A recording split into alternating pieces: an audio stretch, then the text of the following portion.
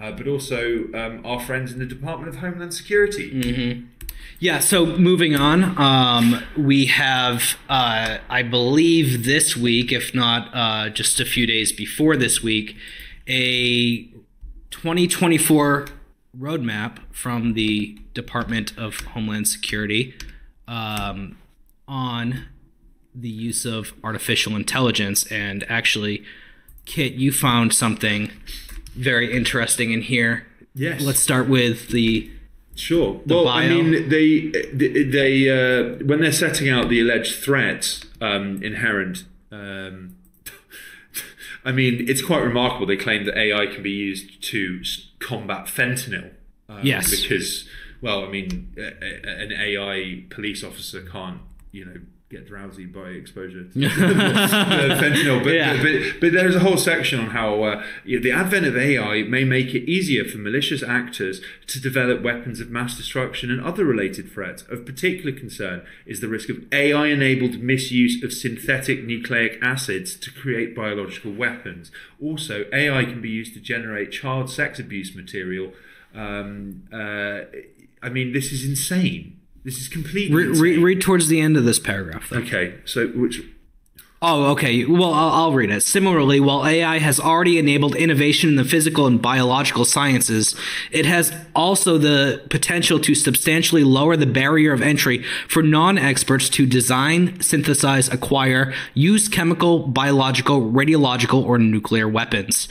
So I think that uh, the case is closed on the uh, weapons in Iraq, right? Absolutely, they were AI right. generated. but yeah, so I think Just because it was a deep fake doesn't mean it was yeah, AI. it wasn't real. That's Yeah. why we couldn't find it. Like, Right. it's just I think that, that, that this is this entire document is like deeply disturbing, and then it's a bit like when they're talk yeah when they're talking about how oh AI can be used to make WMD. Hmm. I mean, it's not you know at the top of my list in terms of threats I would think arising from AI. But I mean, it, it, it, does seem like predictive programming, like foreshadowing Yeah. of like, oh well, we need to crack down on on this because reasons. I mean, that the, the GCHQ, Britain's quote unquote signals intelligence agency, which is, does um, something very different. Um, it, they, uh, I think it was in 2020, released a report where they effectively talked about how they wanted to harness um, AI, and then like the 99% of the report was about child protection, and it's Yeah. like that's obviously not what they're, they're Sure. in- in- interested in. Yeah. I mean, there is. I mean, in, in terms of um, uh, AI being used to generate child sex abuse material, this will mean the FBI no longer has to force female interns who look young Right. to pretend to be children Yeah. to take revealing pictures, which has happened many times. Um, the FBI is the well, the the dark web's biggest purveyor of child sex material, and they use it for entrapment purposes. And some of these pe- these these pervs who access this actually end up walking free because they successfully argue that they were conned into it by, by the FBI. Um, um, of course, the bureau f- has faced no no consequences as a result. But but yeah, the it, the spectre of child protection is very very effective. It's the kind of thing which the media would obviously just run with without asking much in the way of in the way of questions. Um, the the we know for a fact that. Um, uh, that the, the DHS via uh, CISA um, or Caesar. Um, what, which acro- pronunciation would you prefer, Alex? Uh, let's say Caesar. Caesar. Okay, so You know, we like the like the Wu Tang. yeah, oh, absolutely. Caesar. Yeah, Yeah, yeah, yeah, The scissor. Like, Yeah, like, yeah, yeah. yeah. It's um, on the cutting room floor, I think. Like enter, enter the thirty-six chambers of AI. But, the, but, the, but, the, but there is a so we know for a fact that scissor is already heavily um, uh, invested and, ex- and experimenting with. Um, artificial intelligence and like big data tools. So there is a bunch of leaked documents, I believe, that were released by Ken Klippenstein, now formally um, of the Intercept That's right. which basically documented. So um, people may not remember, um, or they may have just suppressed it because it was so awful. Uh, about two years ago, the, D- the Department for Homeland Security announced that they were launching a disinformation governance board. Um, I mean, it's just like so Orwellian and like really. By uh, headed by your favorite uh, terrible musical enthusiast. Yeah, yeah, headed by Scary Poppins Miss um, Miss Nina Jankowicz, um, who is now a, a under FARA is a British um, asset. She is She's a foreign agent. yeah, yeah, yeah, For the British, she, she's lobbying on behalf of uh, the Centre for Information Resilience. This is another um, terrifying uh, Orwellian. Like the Centre for Information Resilience has come to give you a brain realignment, like, they- just like, and, and it's just like you know what could what could be what could be less threatening than that? And, Yeah. and so she's on on Capitol Hill trying to raise funding and drum up business for this organisation, which is run by two long-time British intelligence operatives, one of whom I have jousted with a lot and has called me a conspiracy theorist and complained about my use of run-on sentences, amongst other things. Uh, his name's Ross Burley. But these are these are two long-time British psychological warfare specialists. The, um, the Disinformation Governance Board was announced with much fanfare, but with absolutely zero clarity on what it would and wouldn't do uh, two years ago. And then within, I think it was two or three weeks, it got shut down because of the huge controversy, because it wasn't at all clear what it was meant to be doing, um, or whether there would be whether it would be actively policing what people said online, whether it would be a censorship unit that was uh, demanding with menaces that Twitter et al. remove content it didn't like, and of course there is the burning question of what is dis- disinformation, um, and the answer is always information that powerful people do not want in the public domain, um, almost without exception. And so there are these leaked files related to the Disinformation Governance Board, which show that despite the fact that it got shut down, the, uh, the in theory the underlying infrastructure behind it, which was run by CISA, um, had been going for a long time and indeed carried on after the board's dis- dissolution um, publicly.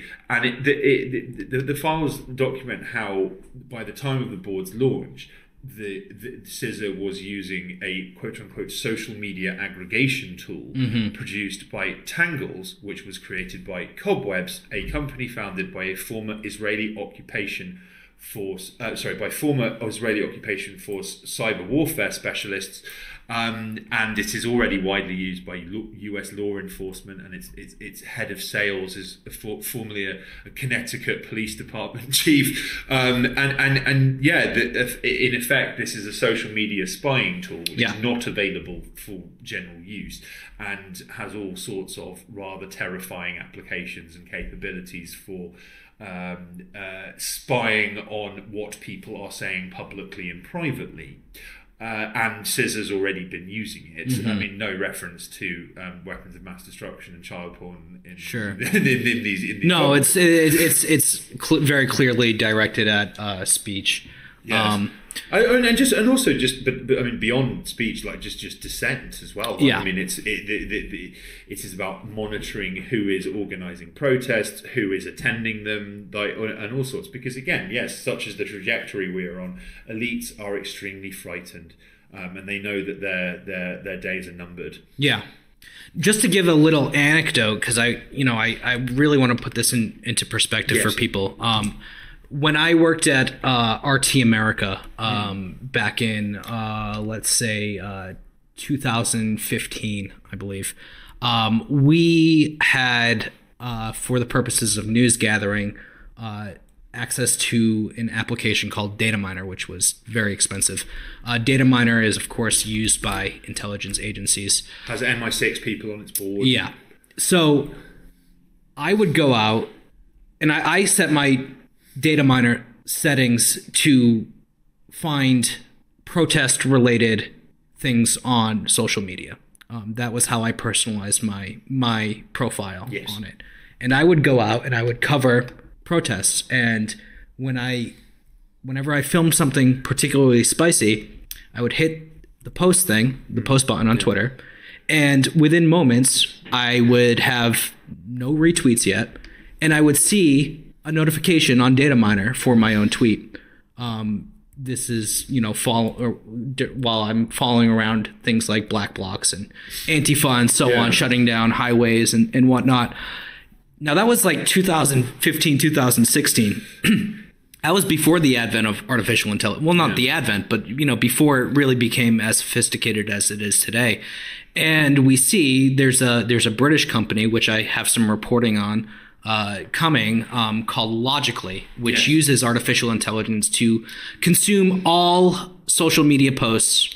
Basically, every public social media post, TikTok, Facebook, Twitter, The entire fire hose, as it were. the entire fire hose. Um, so I mean that that's the kind of uh, targeting, uh, mass consumption, and, and and and targeting that becomes possible with um, these kinds of things. So Yeah, I mean, I might add about Dataminr as well. I mean, this is something that I wrote back uh, al- almost a year to the day uh, for MintPress Sure. on Dataminr. That it, what what what's really quite remarkable is uh, people may remember, or again, such as the pace that, that events move these days, they may have forgotten that in April 2023. Former CIA Director Michael Morell admitted that he had orchestrated the letter um, the joint letter that torpedoed the New York Post's reporting on Hunter Biden's laptop. Now, again, um, this was a, a pretty fraught and, and frenzied time, but this was a joint letter signed by a variety, I think it was 51 former senior intelligence officials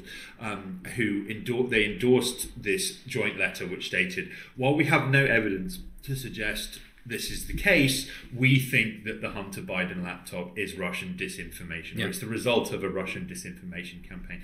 And it, it, this letter was cited by Biden when Trump grilled him about the, this on the campaign trail. Sharing of the Hunter Biden laptop story was banned on social networks. People who shared it got banned. Um, and and New, the New York Post Twitter account got banned as well um, temporarily. Yeah, uh, but, and was that's right. reinstated due to due to backlash. And uh, Morell has admitted that yes, that like that this was this was explicitly to help Biden. It was an October. It was a reverse October surprise because the stuff on that laptop is absolutely incendiary and it's been completely forgotten now. But the point is, is that I by doing an um, enormous amount of uh, googling, found that a, a, a large number of these people who signed this letter, uh, this joint letter, were connected to a shadowy consultancy firm called Beacon Global Strategies, which is effectively the parent company of Dataminr. Yeah. Now, this raises the very, and they're charged with marketing it and so so many supplying it. CIA ops get laundered through consultancy firms. Yes. Yes, absolutely. I mean, what's the, what was that firm that Obama See- worked for? Oh, that was the Business- Business International Corporation. God, uh, yeah, but the, uh, It, it, it, the, the, sorry, the point is, is yeah, that like most most of the senior CIA and NSA and Pentagon people who signed th- this joint letter were connected to Beacon. Now, this raises, at least from my perspective, the very obvious question of whether the suppression of the Biden Hunter Biden laptop story was just one component of something much bigger and more sinister. Mm. Were was Dataminr used to look at the people who were sharing this? Like because Dataminr effectively allows you to break down who this person is connected to, who they, who who particular social media Yeah. users uh, um, communicate with, Yeah. and all this other stuff. And it's like, well, I mean, was that that aspect of it just, I mean, ensuring that literally no reference to this was made online, and just like really drilling down and censoring and banning anyone who took an interest in this. Bearing in mind that Dataminr also has a contract with the FBI, yeah. And the the Biden administration came into office clearly wanting to just completely neutralize Trump Trump and his supporters. Was there an offline component too with the bureau look, tasked with looking into the kind of people who were sharing this stuff? Because it was that was that it was that radioactive. Yeah. and uh, that is the, the, the profusion of people tied to Beacon and, and therefore Dataminr who were, the were signatories of this letter is like really quite disconcerting and it raises very obvious questions which of course have not been asked in the mm. mainstream media because why would they it's not their job Yeah. Yeah. it's our job